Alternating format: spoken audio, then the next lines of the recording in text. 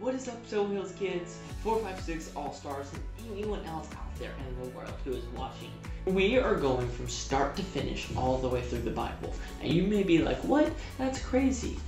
It is a little bit crazy, and it's going to be so much fun. And this isn't a one month series or a two month series or a year long series. This is going to be four years of us going through the Bible. So you guys in All Stars, you're going to come all the way up and get to see all of it play out. And it's going to be super duper amazing. Now, we're going to have different sections and different things that we can learn about ourselves and God each and every week. And so I am super excited. Today, we're starting in the very beginning with Genesis. That's right, we are starting from the start and we're going all the way through. And I am super duper excited about that. So, we're going through Genesis and we're to dive into it today. Now, normally we'd have a game, a video that pulls up, but today I want you guys to interact with our story. I want you guys to feel the story per se. So I want you to pause the video after I explain the rules and get with somebody in your family, a parent or a sibling, and let's dive into today's game. So today I want you to get something that you can mold, right? Play-Doh,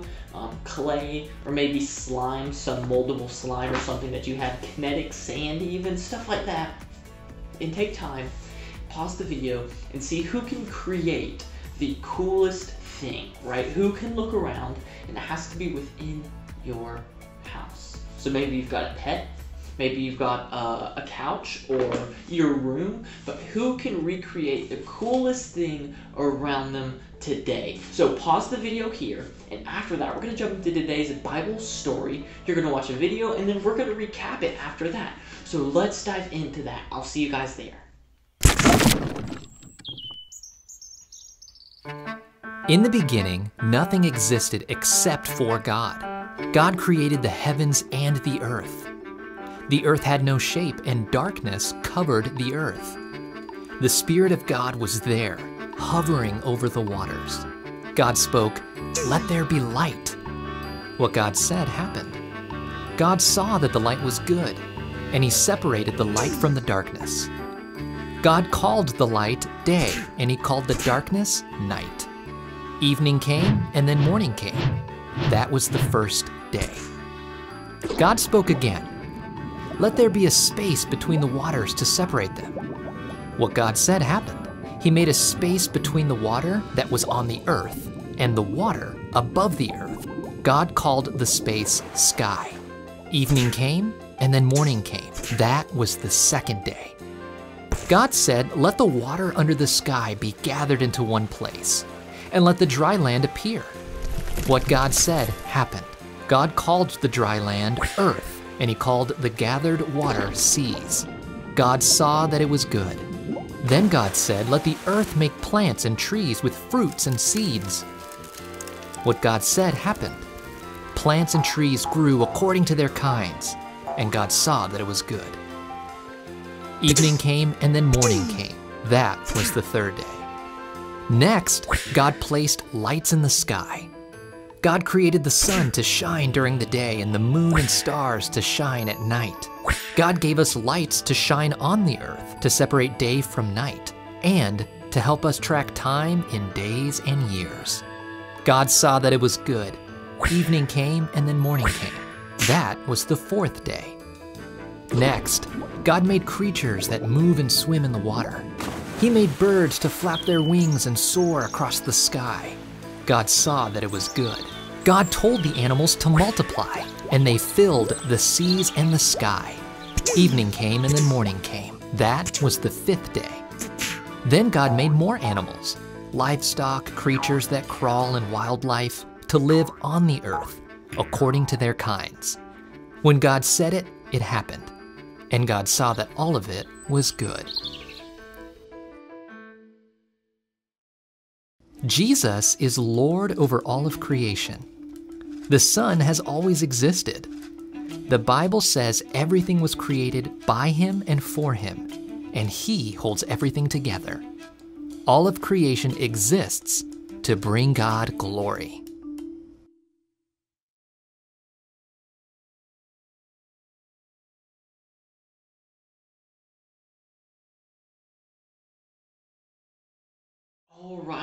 Coming out of that story, isn't creation amazing? Isn't it so cool how God took nothing and created all that we see? We see Him say, Let there be light, and there was light in verse 3. In verse 6, He says, Let there be a space between the waters to separate the waters of heaven from the waters of earth. He makes the sky and the earth. Uh, he, ma- he makes the water and the ground. He plants trees. He makes the sun and the moon. He lets the waters swarm with fish, right? And then he produces animals, he produces birds, and ultimately he creates us.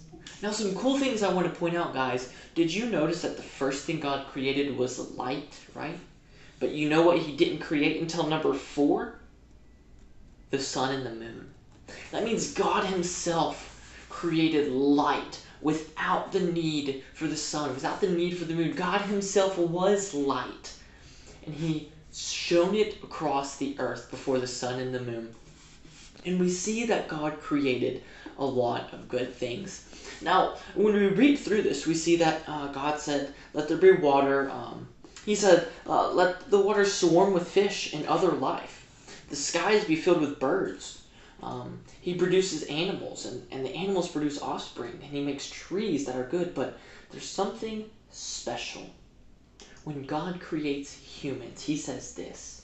So God created human beings in his own image. In the image of God, he created them, male and female. He created them. That's right. God took time and he made us different. He made us in his image. Now, that doesn't mean that we look just like God. God isn't quite a physical person like us. He is a spirit with us. But he created us with the ability to um, to have emotions like he has, to think like he has, to um, create like he does.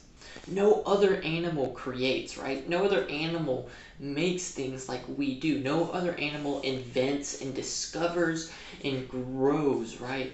Because we are in God's image and we are called to create. Now, I want you guys to think back to your exercise you did with the Play Doh or whatever. You created something. You created whatever it was, you created it. Now, here's the question Did you create the thing that you created the thing with? I know that's confusing for you guys. But you had something already. You had the Play-Doh or the slime or the clay, and you molded it into something. When we think about creation, God molded it out of nothing.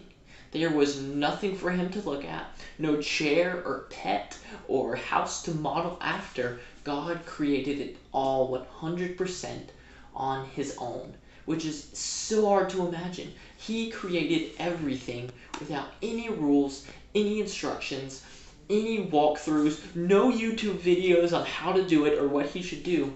He created it all because he is that powerful.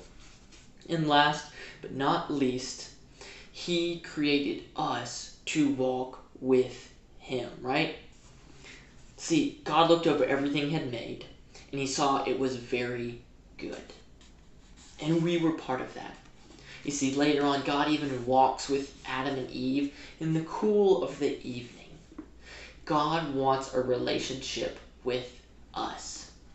And so every story we tell, we want to show you why it is important to us and why it matters for us, especially pointing towards Jesus.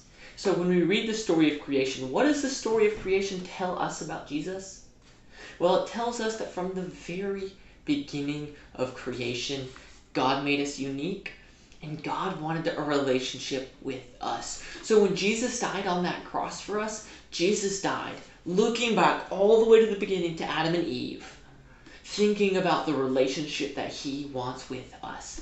So today, with Jesus and his death on the cross, we can have that full relationship that they had in the beginning of creation, which is great news. So never forget that, guys. Now, next week and the next few weeks, we'll kind of look at some of the things maybe we messed up on and some of the sin and the separation that we have now. But remember from all of this that God loves you and he wants a relationship with you. We've got a cool new video coming up. It's going to be questions from kids. It's going to be questions that kids ask that we help answer. And then I'll see you guys after that.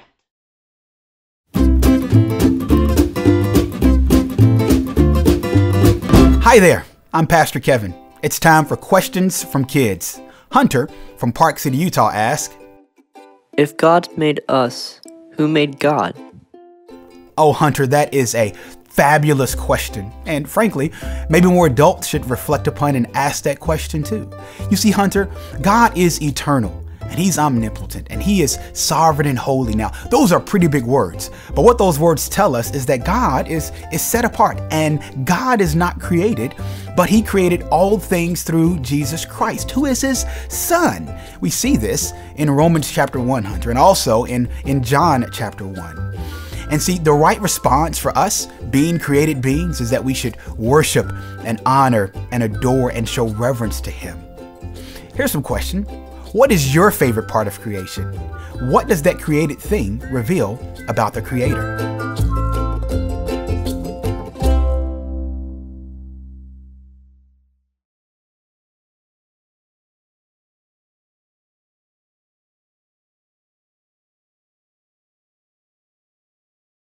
That was super cool. And those are questions that even us adults ask sometimes. So don't forget to ask questions. Questions are great. So ask those questions, learn things, and remember that Jesus Christ, the God who died for you and was raised again on the third day, wants a relationship with you. How crazy is that. You guys don't forget that. I hope you have a great day, a great week, and I can't wait to see you guys next week as we dive into number two of our new series. I will see you guys there. Bye.